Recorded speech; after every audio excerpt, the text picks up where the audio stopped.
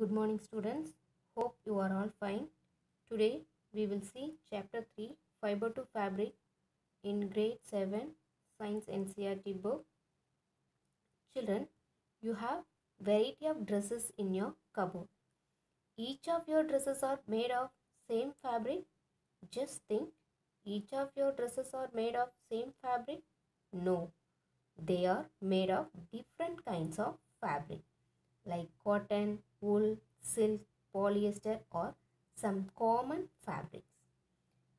And what is fabric made of? And what is fabric made of? Fabrics made of fine threads called yarn. Fabrics made of fine threads called yarn. From your fiber fabric, you can easily pull out yarn. See this picture? From the from that fiber, easily pull out yarn. If you untwist, untwist yarn to loosen it, you will find number of thin hair-like structure. When we are untwist yarn to loosen it, we will find number of thin hair-like structure. These strands are called fibers. These fine strands are called or thin strands are called fibers. Have you ever tried to thread a needle? Sometimes the end of the thread separated into few thin strands like this. They few thin strands. These thin strands are called fiber. Fibers are thread-like structure. Fibers are thread-like structure. When fibers are twisted to make thicker and stronger thread. When fibers are twisted, it's become thicker and stronger thread. That is called yarn. When we are twisting the fiber, it's become strong and thicker. It's called as a yarn. Students, if you have a cotton in your home, just take some amount of cotton and stretch it and twist them. It's become stronger and thicker yarn. This this this process of making yarn from fiber is called spinning. This process of making yarn from fiber is called spinning. How we are making yarn from fiber? By twisting them.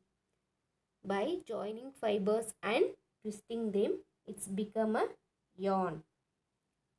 When we are when we are interlock the yarn, it's become a fabric. The interlock interlocking structure of fiber or yarn we call it as a fabric.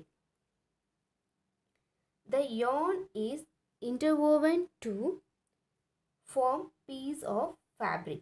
The yarn is interwoven to form piece of fabric.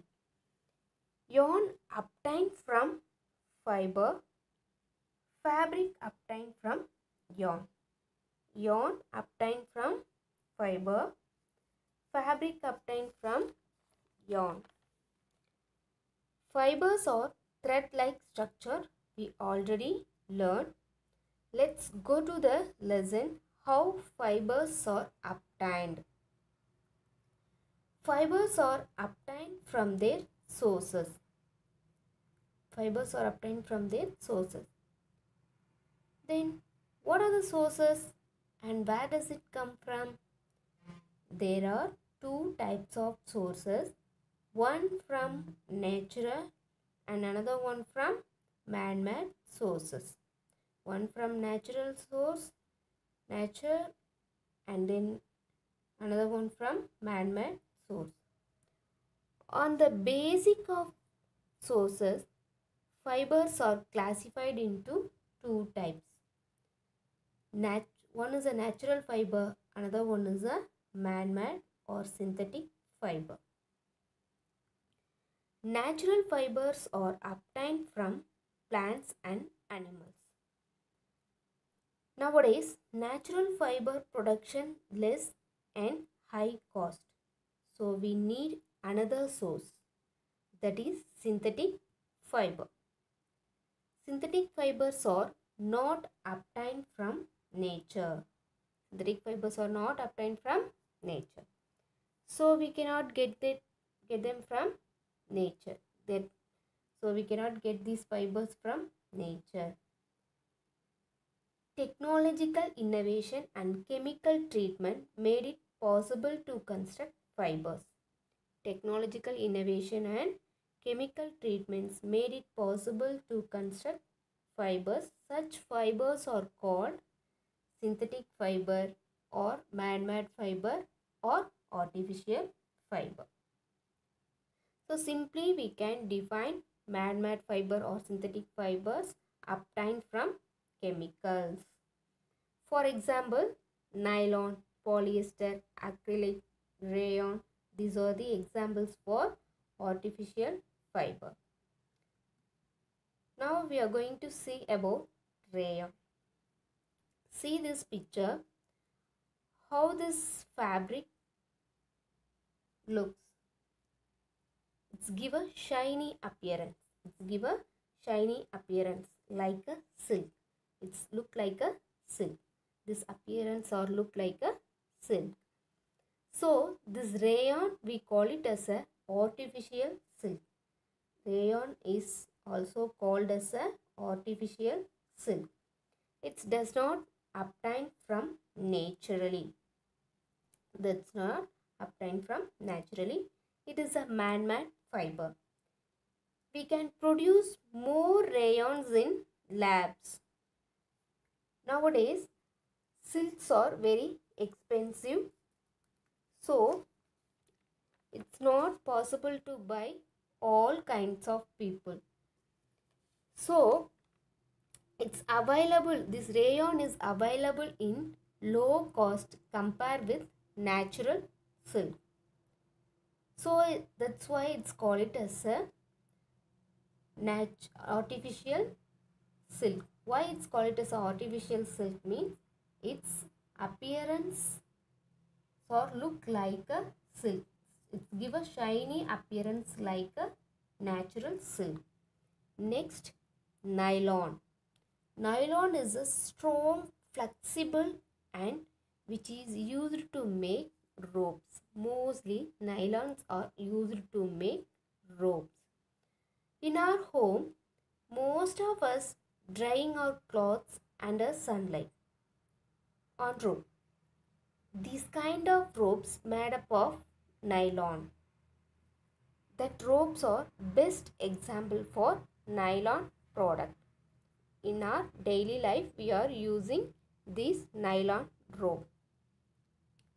Next, we will discuss about natural fibers. Natural fibers are obtained from nature. Natural fibers are obtained from plants and animals. For example, cotton, hemp, jute, flax. These fibers are obtained from plants. This is a summer season. This season mostly we are refer the uh, refer the cotton cloth because it's keep as cool. So it's uh, very important. That one is obtained from plants. you are getting we are mostly like to wear cotton fabrics. They are obtained from plants and nowadays linen fabrics are very famous. These fibers are obtained from flax plant. And another one fiber is animal fibers. Animal fibers are obtained from animals. See this picture. What are the animal fibers? Wool and silk. Wool is obtained from fleece of sheep, hair of rabbit and your this kind of animals yield wool.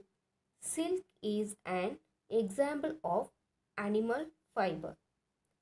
silk is an example of animal fiber. How? Because it's obtained from silkworm. Silk obtained from silkworm. So that is called it as an animal fiber. Now we are talk about wool. First we see sources of wool. From where do we get wool? Wool is obtained from animals. See this picture. These are the animals are called wool yielding animals.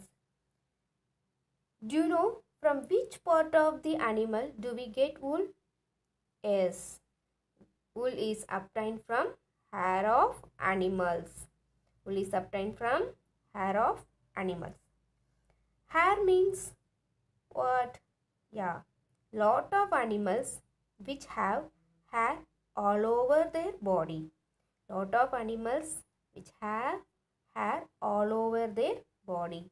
Like human being, we also have hair.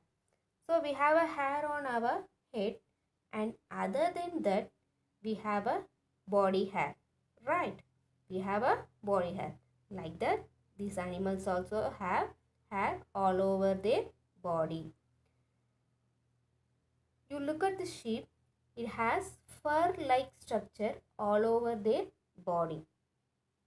In this picture, we can see this wool, uh, this sheep have a wool all over the body or else hair all over the body.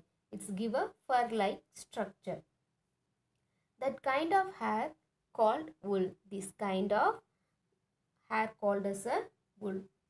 This wool keep them warm. This wool keep them warm. So this kind of wool yielding animals live in cold region. This kind of wool yielding animals live in cold region. So this wool or help them to keep their body warm. Hair on their animal's body along with thin layer of skin taken out. See here one person collecting wool from the sheep.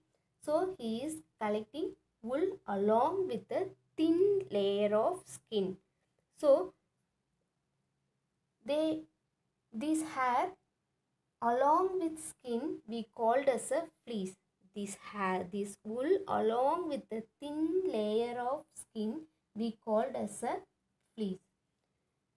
Students is there is this hurt animals? Do you have any idea about this? No. It does not hurt animals and does not harm the animals. Topmost layer of layer of skin made up of dead cells. Topmost layer of skin made up of dead cell even it remove it does not hurt them. So the the wool along with the thin layer the thin layer made up of dead cell. So it's not hurt them hurt them. Do you know why it hurts when someone pulls our hair?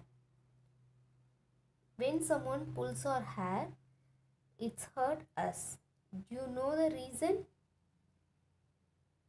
Yes when pulls hair it hurts because root of our hair is connected to the skin which has sensation.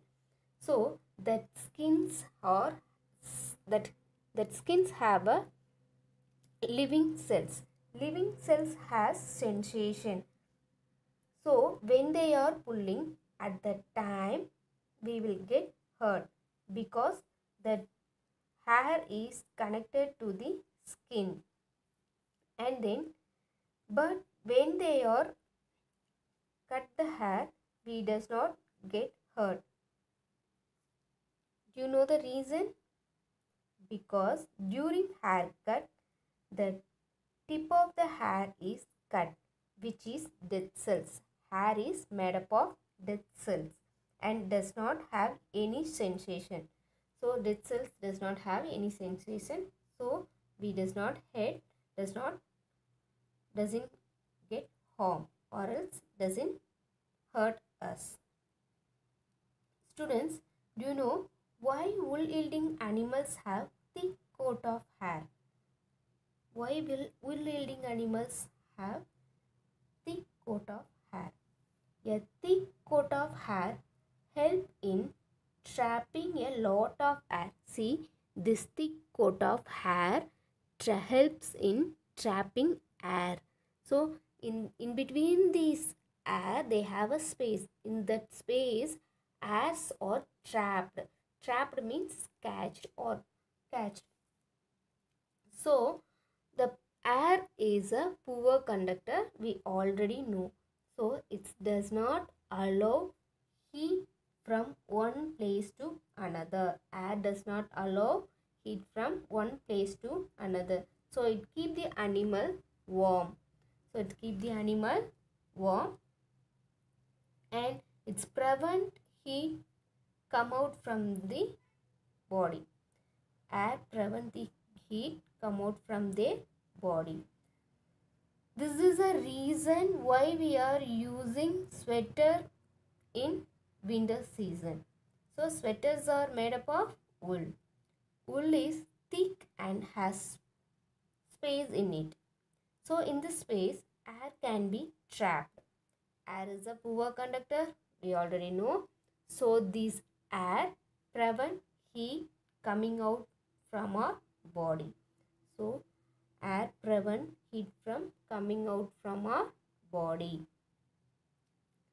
And we are getting two types of wool from wool yielding animals.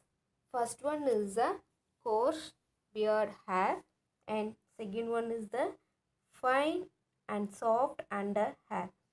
The the coarse hair they are rough and strong. That hairs are very rough and strong it's used to make rugs carpets and blankets.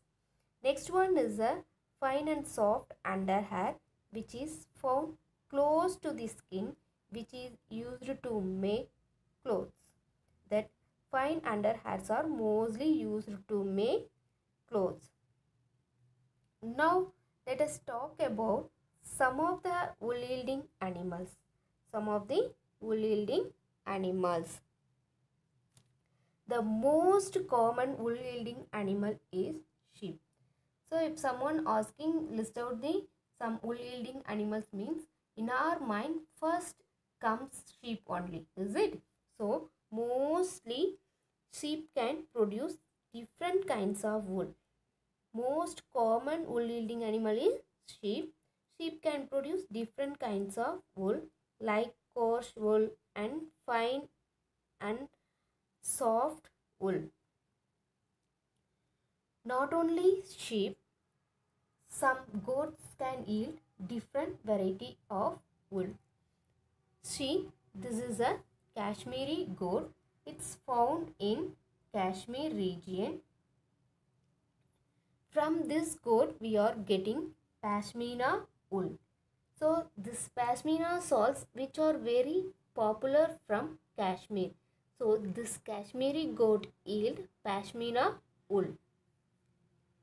And pashmina wools are very soft and also very warm.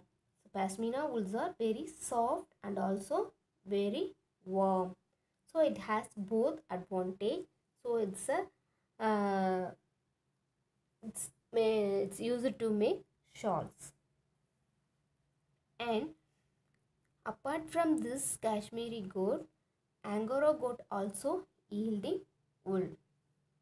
The angora goat from the angora goat we get other type of wool called as a mohair from the angora goat we are getting wool is called as a mohair kashmiri from the kashmiri goat we are getting pashmina wool and angora goat we are get from angora goat we are getting mohair wool.